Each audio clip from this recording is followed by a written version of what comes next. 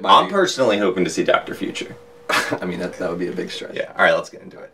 Our official position is that the Cheeseman does not exist. This city has a right to know who saved those kids. Trust me. They know. Do you think yourself a god?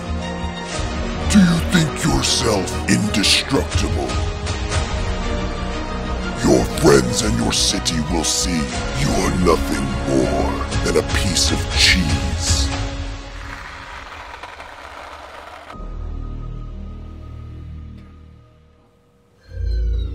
Oh! Oh! Oh! Oh! Let's fucking go! Let's go!